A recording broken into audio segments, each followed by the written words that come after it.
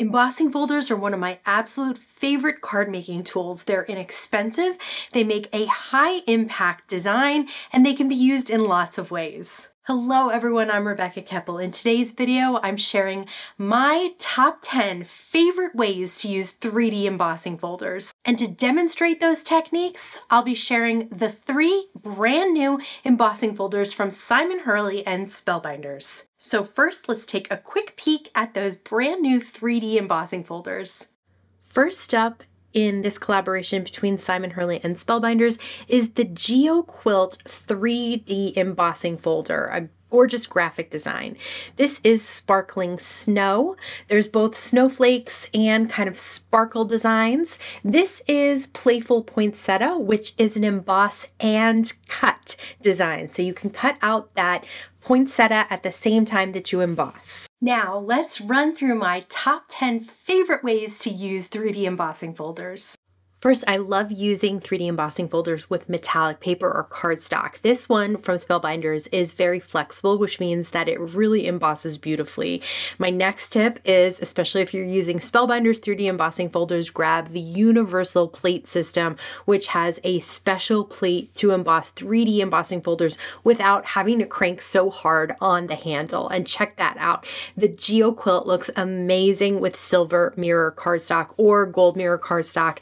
It's it's just such a great look. I also love using white pigment ink on my embossed designs. So I used the sparkling snowflake here and then I'm gently covering the top of this embossed design where it's raised with a white ink pigment pad. So I'm not pressing down too hard because I don't want to get a lot of white into the lower areas. I really want it to stay right on top. You can see I got a couple of little smears underneath, but mostly it looks on top and then it really stands out that way. There's also emboss, cut, and ink. So with one of these folders, the Playful Poinsettia, you can both emboss and cut at the same time. Then the cut out piece, I will will take a little bit of Distress Oxide ink in Lumberjack Plaid and a small shader brush to add some ink to the edges and even the center of this design. I like to start on the edge so that the edge gets a nice darker look to it and then the center is much lighter. So it really stands out from the background that we've already embossed. I'll add a little bit of a flower center with Distress Oxide Mustard Seed and then you can see how nicely it stands out from that alabaster background. Another way to use 3D embossing folders is to create a watercolor effect. So we're going to use Distress watercolor paper and a couple of dye inks from Simon Hurley and just rub those inks on the embossing folder. Don't worry, it won't ruin your embossing folder. It will wash off with water. I have two colors here and then I'll spritz them with water. I love using the Distress sprayer to do that because you can get lots of different levels of water spray. You can see it's beating up on the embossing folder. So I'm definitely going to get a watery effect rather than just an inked effect. So I'll run that through my die cut machine, open it up and check it out. Even the line between the two colors has that nice watercolor effect. But you can, of course, spritz some more water and the ink before it dries will move around a bit more, creating little white spots and I'll use a paper towel to take off some of the ink for even more white on this background. And I love how the snowflakes remain white because they are embossed. There's also a way to use heat embossing with 3D embossing folders. I add anti-static powder tool to the cardstock and then rub Versamark ink on one side of the GeoQuilt 3D embossing folder and send it through my die cut machine and then pour the embossing powder on top of the side that I had the Versamark ink on.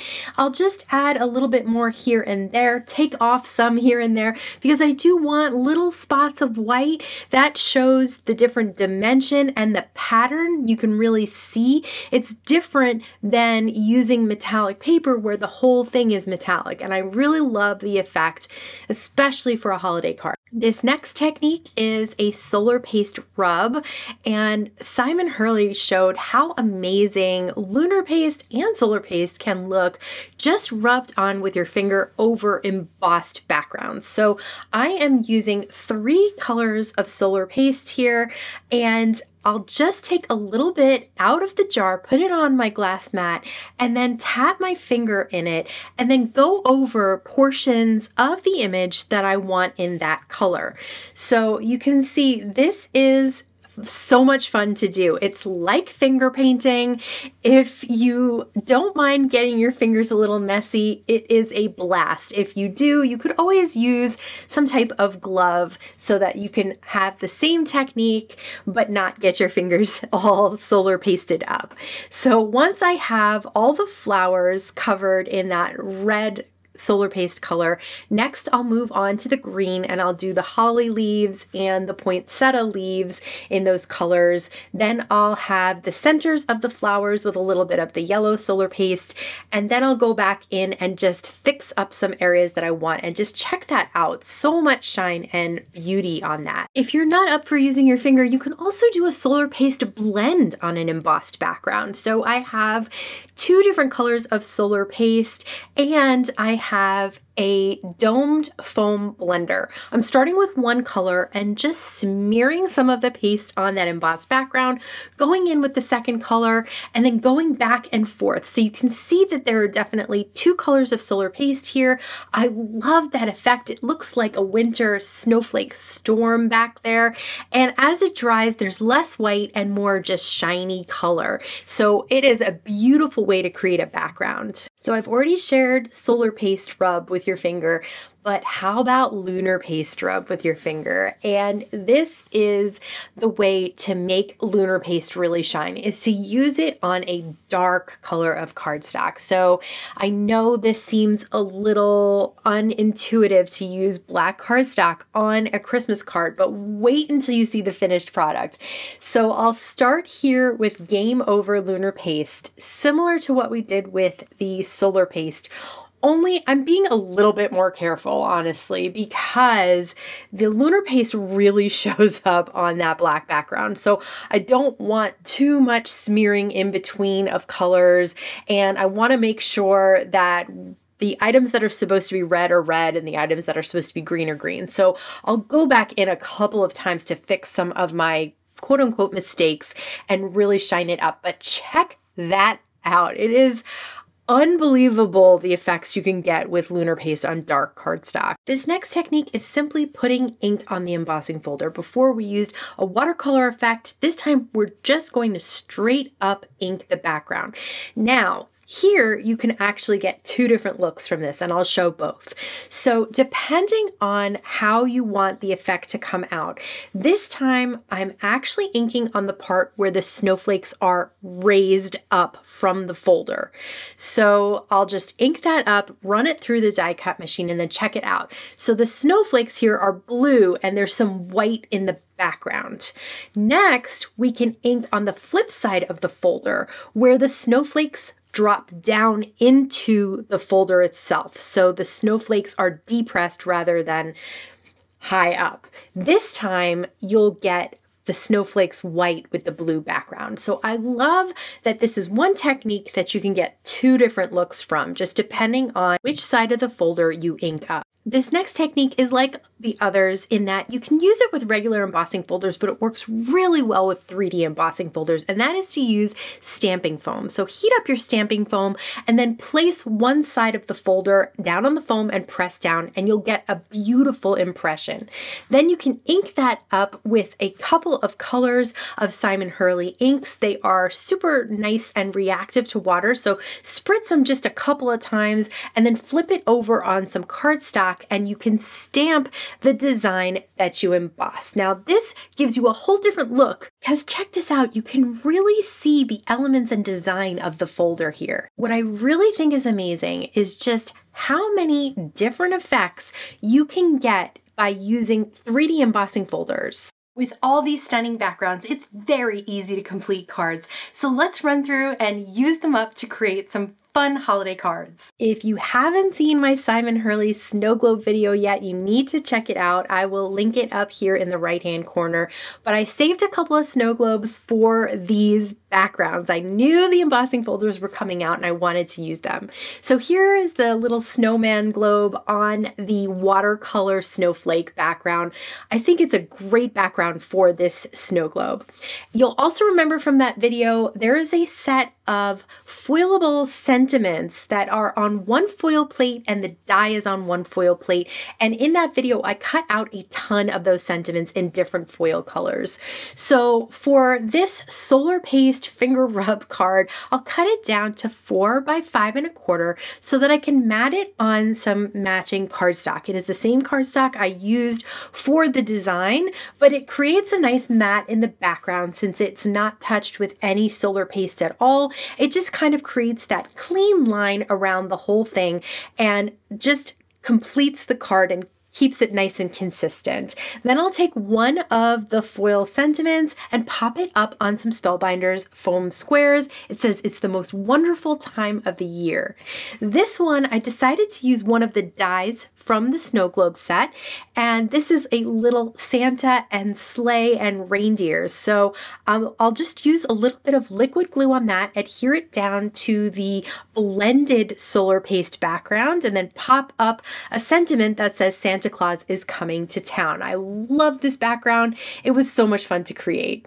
Next we have the two different embossed ink backgrounds, one that has blue snowflakes and one that has white snowflakes. So I'll do the same thing. I'll mat it on some silver mirror cardstock and pop up a gold sentiment for this one. And then I'll mat it on a white cardstock background for this one that has the white snowflakes and then pop up a silver foil sentiment. So these sentiments come really in handy if you are mass producing, just mass foil a bunch of these sentiments and you'll have tons of them to use for different holiday cards.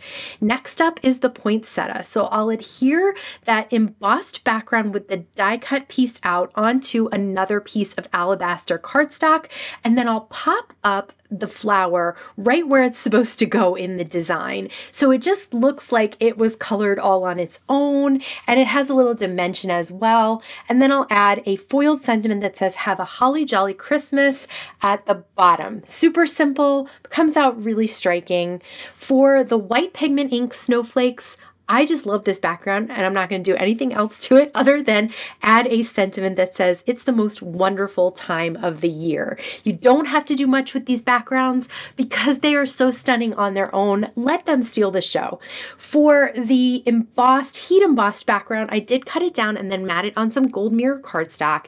And then again, pop up one of the foiled sentiments. This time it's gold. It says it's the most wonderful time of the year. Again, you don't need anything else but you could add little pearls or little metallic embellishments, whatever you want, but I think they're pretty just as they are. For this stamping foam background, I cut it down to four by five and a quarter, and I'm matting it on some dark navy cardstock. Then I'll take a little strip of white cardstock and place it in the sparkling snow background. Then I'll just ink blend with a blending brush just on those areas where those snowflakes are so that they really pop out with some bright blue ink. This is obviously another way that you could use these embossing folders.